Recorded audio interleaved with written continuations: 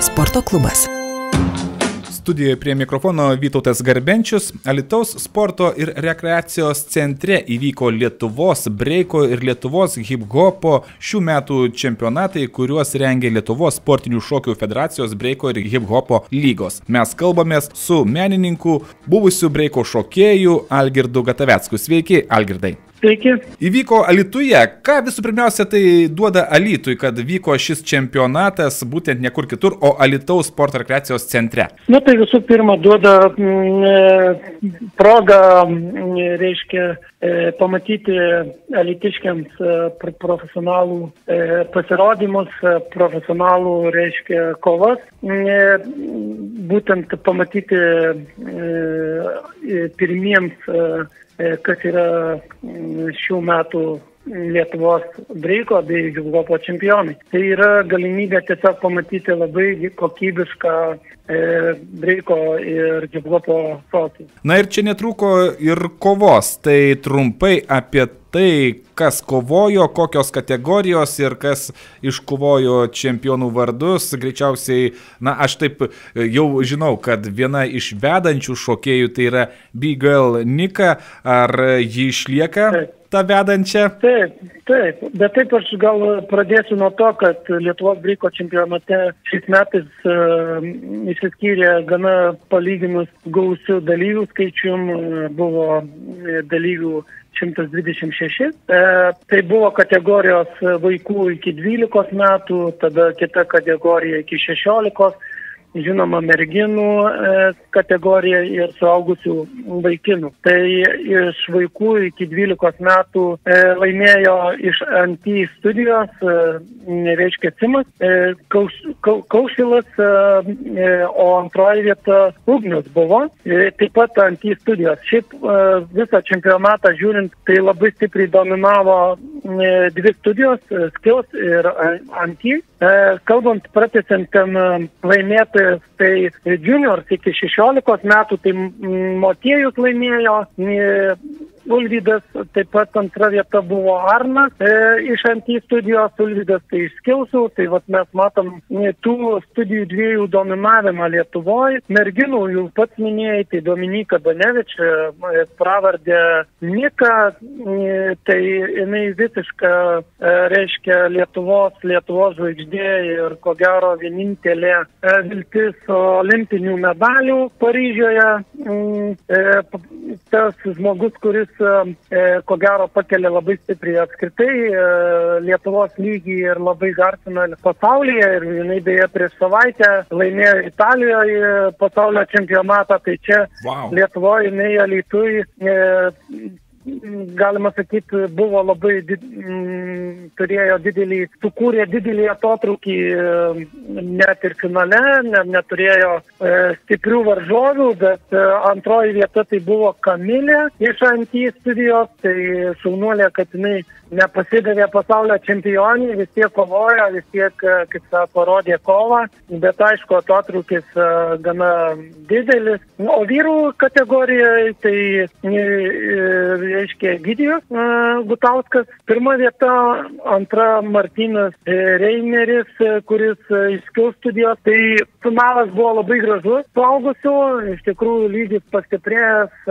jeigu taip vertinant maždaug 10 metų e, laikotarpyje, tai 10 metų laikotarpyje buvo vienas momentas, kada lygis labai stipriai krito, o dabar mes matome tą E, pastiprėjimą ir aš e, dalyvaudamas, žiūrėdamas e, varžybas, brolis teisėjaudamas, mes pasidžiaugiam, kad breikas atsigauna, gali būti, kad pagerėjo už tai, kad atsirado breiko lyga, gali būti, kad pagerėjo dėl to, kad olimpinė šaka breikas bus ir kad dėmesys tiek iš spaudos, iš žiniasklaidos atsiranda šitas, šitam sporto, sportui, tai turbūt tas įtakoja ir labai džiugu, kad ir jūs kalbinat, klausėt apie tai, nes man tai atrodo, atrodo labai stipriai įtakoja domėjimasi šitą sporto šaką ir, ir tiesiog žmonių norinčių šokti atsiranda daugiau.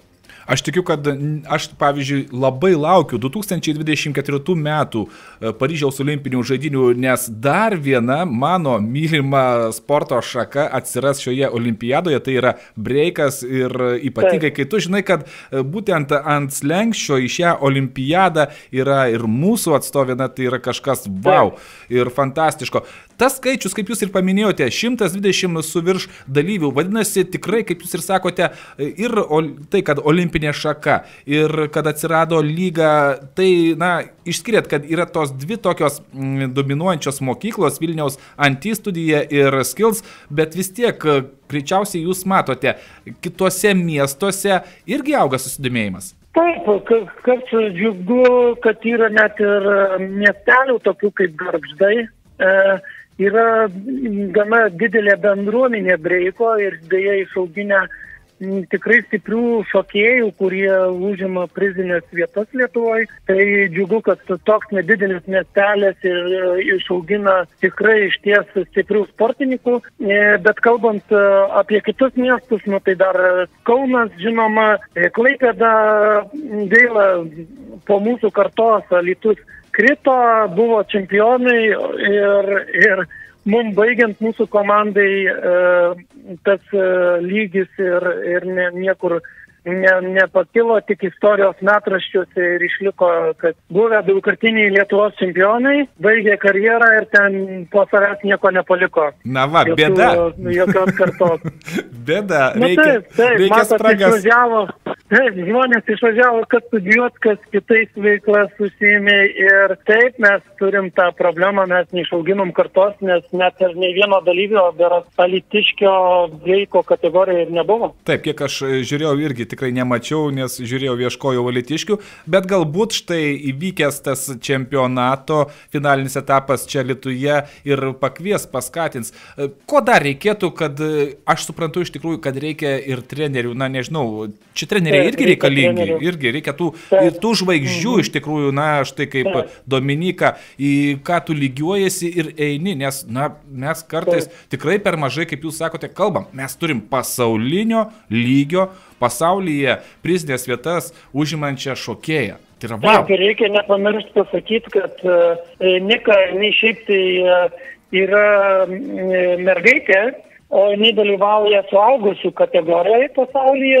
jinai e, nežiūri kategorijos vaikų, jinai eina į suaugusių kategoriją, kovoja prieš suaugusias e, profesionalias merginas ir jas e, įveikia, nugali, reiškia ir šokėjos iš sakykime, ir iš Japonijos, ir iš Kinijos, ir iš Amerikos, ar iš Kanados, iš bet kur, ar iš Brazilijos. Visos, visos Nika žino ir visos jos bijo ko, ko, kovoti prieš ją bijo, nes žino, kad jauna, labai įkyri, labai stipri lietuvė, kuri dažnai net, e, duoda į nosį kovos metu, tai turiu omeny, nugali ko, kovoj. Tai iš tikrųjų, čia kai buvo Italijoje, tai kiek kalbėjau e, su jos mama, tai sako, kanadietė beras ir sakė, tikėjausi, kad Nika netvažiuos, būčiau pirmą vietą laimėjus, o Nika atvažiavo ir, ir kaip ir minėjau, davė į nosį, parsivedžė pirmą vietą ir tikrai džiugu, nes jinai dar tik e,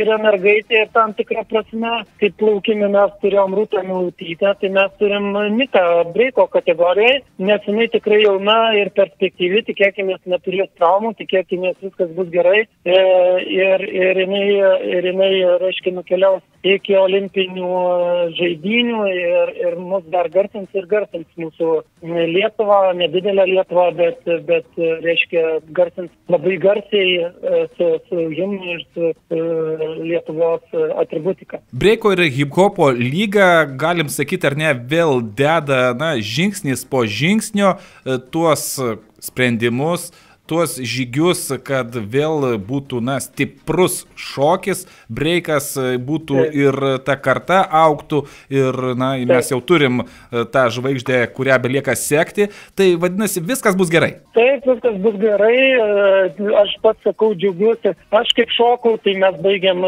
2013 metais, tai mes dar kaip šokom tokio dėmesio nebuvo šiai šakai, kaip atstovaudavom Lietuvą, tai e, radija radijas neimdavo Lietuvos interviu, nors irgi kovodom prieš e, pasaulio čempionus ir taip toliau, aišku, tokių čempionų mes tikrai neįveikdavom, ne, nebuvom tiek tokie stiprus kaip Nika, bet, bet tikrai atstovaudavom ir, ir ta, ta, ta tokia breiko, kad lygis, nu, ne, toks buvo gana užmirštas ir spaudos ir, ir kažkur užkastas, o dabar džiaugiuosi tuo renesansu, kad domisi, rodo ir televizija, mes džiaugiamės tuo dėmesiu šitai kultūrai. Na tada aš dar tik tais palinkėsiu jums, Algirdai, su broliu, padaryti viską, kad Lietuvoje irgi mes turėtume breikų šokėjus, tuos, kurie kovotų dėl apdovanojimų, nes na kas kitkas, jeigu ne jūs, vėl galėtume tą virusą paskleisti.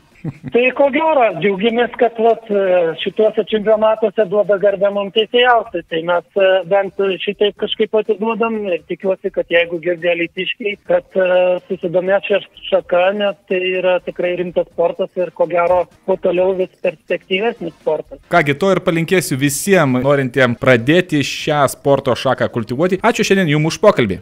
Ačiū. Mes kalbėjomės su buvusiu breiko šokėju Algirdu Gatavecku, pašnekovo kalbino Vytautas Garbenčius. Sporto klubas.